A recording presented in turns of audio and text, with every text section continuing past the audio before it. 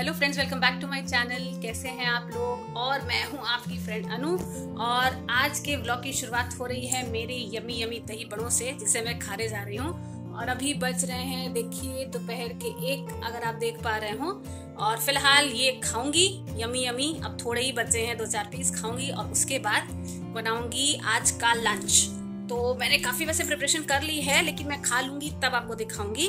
और बाकी जो कुछ होता है वो तो मैं आपके साथ शेयर करूँगी ही। सो so, अगर मेरे वीडियो के थ्रू आप नए हैं या पहली बार मुझे देख रहे हैं तो प्लीज़ मेरे चैनल को सब्सक्राइब कर लीजिएगा और अगर वीडियो ज़रा भी अच्छी लगे तो इसे शेयर कीजिएगा फैमिली और फ्रेंड्स के साथ और लाइक भी कर दीजिएगा। तो चलिए मिलती हूँ आपसे बस ये दही बड़े खाने के बाद। सो so, ये है मेरा वो दही बड़ा जिसे मैं खाने जा रही हूँ। मैंने सोचा आपको एक बार फ्रंट कैमरे से दिखा दूँ। तो चलिए इसे फटाफट से खाती हूँ और फिर आपसे यहाँ से लाए हैं ये सारी सब्ज़ियाँ जिन्हें मैंने वॉश कर दिया है। ये एक नई सब्ज़ी है तुरई और परवल। परवल तो मैंने ऑलरेडी एक रेसिपी आपके साथ शेयर की है। और बढ़िया एकदम बढ़िया खट्टा खट्टा आम साथ में धनिया और ये कलौजी वाले बैगन। तो ये लाए हैं और चलिए मैं आपको दिखाती हूँ कि मैंने क्या क्या प्रिपरेशन एक्चुअली कर ली है। तो फ़िलहाल मैं बनाऊँगी आज थोड़ा अलग स्टाइल से ये भिंडी। साथ में जाएगी ढेर सारी प्याज जो छोटी छोटी मेरे पास है आपको मैंने बताया ही था। तो बस उस प्याज को मैंने चार हिस्से में काट लिया है। साथ में रहेगा लहसुन और ये मिर्च। सो so, अपनी प्रिपरेशन तो मैंने आपको दिखा दी है और अभी एक्चुअली लाइट नहीं है। तो फ़िलहाल इन्वर्टर से चल रहा है ये। और ये जो सब्ज़ी की तैयारी मैंने कर ली है आप मेरे पीछे भी देख सकते हैं। तो अभी बनाऊँगी सब्ज़ी और साथ में बनेगा रोटी या पराठा दोनों में से एक चीज़। तो चलिए प्रिपरेशन मैंने आपको दिखा दी मैं सब्ज़ी मंडी गई थी मैं क्या क्या सब्ज़ियाँ लाई हूँ वो भी मैंने आपको दिखा दिया है। और अभी बहुत सारे पेंडिंग काम है जिन्हें मैं एक एक करके करूँगी तो डेफिनेटली आपके साथ शेयर करूँगी। तो चलिए देर नहीं करते हैं फटाफट से बना लेते हैं आज दोपहर का लंच सो so, यहाँ पे मैंने कढ़ाई को कर लिया है गर्म और मैं यूज़ कर रही हूँ सरसों का तेल। तो हालाँकि आप तो कोई भी तेल यूज़ कर सकते हैं लेकिन इसका टेस्ट सरसों के तेल में ज़्यादा अच्छा आता है। सो so, तेल के गर्म होते ही मैं डाल रही हूँ इसमें एक चम्मच के जितना अजवाइन और अब जाएगा ये लहसुन जो मैंने काट के रखा था। और अब हमें इस लहसुन को थोड़ा सा गहरा होने तक, गहरा भूरा होने तक फ्राई करना है, क्योंकि तभी इसका फ्लेवर काफ़ी उभर के आता है सब्ज़ी में। तो लहसुन यहाँ पे अच्छे से फ्राई हो गए हैं। अब मैं डाल दूँगी इसमें मिर्च।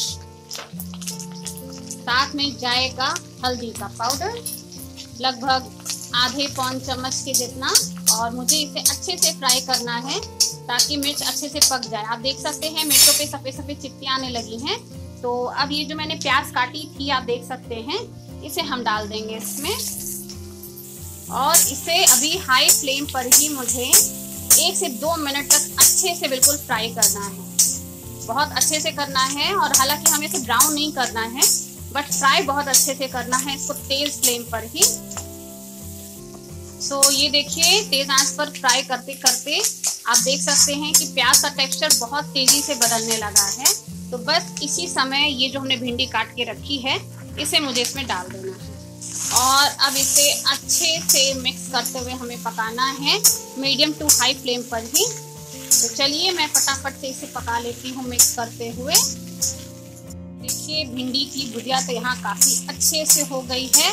तो फाइनली हमारी जो भिंडी की भुजिया बन गई है तो इसमें मैं डाल दूँगी सबसे पहले तो ये नमक टेस्ट के अकॉर्डिंग और साथ में डाल रही हूँ मैं ये मैगी का मैजिक मसाला एक्चुअली काफ़ी दिनों बाद। सो ये एक चम्मच मैंने निकाल लिया है और ये भी मैं डाल रही हूँ। तो होपफुली अच्छा ही लगेगा। हनी को थोड़ा भिंडी कम पसंद है तो मैं ऐसे ऐसे मिक्स करते रहती हूँ। और अगर मेरी आवाज़ सही से नहीं आएगी तो मैं इसमें वॉइस ओवर कर दूँगी ताकि आपको अच्छे से समझ में आ जाए। तो चलिए ये तो हो गया। फटाफट से मैं बाकी पराठा भी बना लेती हूँ। सो so, ये देखिए अब मैं बना रही हूँ पराठे क्योंकि हनी की फरमाइश थी कि उन्हें पराठे ही खाने हैं। और फिर जब उसके लिए बना रही थी तो सच बताऊँ मैंने अपने लिए भी बना लिया है। तो चलिए आपको दिखाती हूँ मैं आज की अपनी थाली। तो फ्रेंड्स ये है मेरी आज दोपहर की लंच थाली। यहाँ पर है भिंडी की सब्ज़ी। साथ में है दही, थोड़ी सी चीनी के साथ, और ये है दो पराठे, और ये देखिए, हनी तो खा के फिनिश भी कर दिए सो फ्रेंड्स लंच तो हमारा हो रहा है, और मैं जा रही हूँ करने, और अब मैं मिलूँगी आपसे मोस्ट प्रॉब्ली शाम को, क्योंकि शाम को बनाना है कुछ ऐसा जो अभी मैंने बहुत दिनों से नहीं बनाया।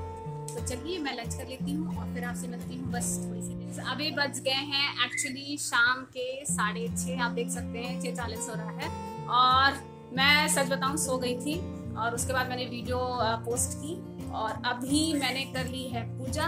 शाम की दिया बाती मेरी हो गई है और मैं चल रही हूँ अभी आपसे बातें करते करते अपने किचन में और यहाँ पे मैं आपको भी दिखाती हूँ। ये देखिए। तो चलिए मैं आपको अभी अच्छे से दिखाती हूँ इसे। सो so, ये है बेसिकली खोआ। ये आधा किलो खोया है एक्चुअली हम लोग गए थे कहीं और वहाँ पे हस्बैंड जी को खोया बहुत अच्छा मिल गया। इनफैक्ट ये खोया उन्हें मिला है मात्र दो सौ रुपए किलो। मैंने हालाँकि कहा भी कि दोस्त आधा किलो क्यों लिया? पूरा एक किलो लेना चाहिए था। तो हम लोग ऐसे ही होते हैं मैं ऐसी हूँ फ़िलहाल। तो अब मैं चल रही हूँ इस खोए से बेकेक केक बनाने। क्योंकि मिल्क को भर के पराठा जो बनता है खोए का पराठा जिसे मैं बोलती हूँ, वो हनी का मुझे बहुत ज़्यादा पसंद है। और बेसिकली हम हमारे यहाँ सभी स्वीट टूथ वाले हैं मतलब सबको मीठा पसंद है और बेहिसाब पसंद है। हालाँकि बहुत कंट्रोल कर लिया है। पहले जैसे हम लोग नहीं खाते हैं। और अभी मैं आपसे बात कर रही हूँ और पूरा किचन मैंने साफ़ कर लिया है क्लीन एंड क्लियर और अभी आज रात में तो कुछ नॉनवेज बनेगा, जो कि मैं आपके साथ सही बताऊँ, इस ब्लॉग में शेयर नहीं करूँगी। और अगर मैंने रिकॉर्डिंग किया हो पाया तो मैं उसका अलग से ब्लॉग बनाऊँगी, अलग से रेसिपी आपके साथ शेयर करूँगी। तो चलिए लेट नहीं करती हूँ और फटाफट से बना लेती हूँ ये मिल्क केक जो कि बहुत सिंपल है और बहुत ही टेस्टी और सो ये देखिए, यहाँ पे मैंने चढ़ा दी है कढ़ाई और ये है वो खोया, जो कि मैंने प्लेट में निकाल लिया है। और कढ़ाई हल्की सी गर्म हो गई है तो अभी मैं इसमें डाल दूँगी ये खोया। आप देख सकते हैं और अब मुझे इस खोए को अच्छे से मैश कर लेना है बिल्कुल। तो मैं फटाफट से मैश कर लेती हूँ। सो so, ये देखिए यहाँ पे खोया तो अच्छे से मैंने मैश कर लिया है और अभी मैंने इसकी फ्लेम को थोड़ा सा स्लो कर दिया है ताकि ये खोया सॉफ्ट हो जाए बढ़िया से। और आप देख सकते हैं खोया तो वैसे बहुत अच्छा है नो डाउट तो चलिए इसे थोड़ा देर में और मिक्स कर लेती हूँ ताकि इसकी सॉफ्टनेस थोड़ी बढ़ जाए। और अब इसमें जाएगी चीनी। तो यहाँ पर आधा किलो के जितना खोया है और इसमें हम जो चीनी डाल रहे हैं, वो अपने अंदाजे से डालेंगे। तो मैं यहाँ पे डाल रही हूँ लगभग तीन चौथाई कप के जितना।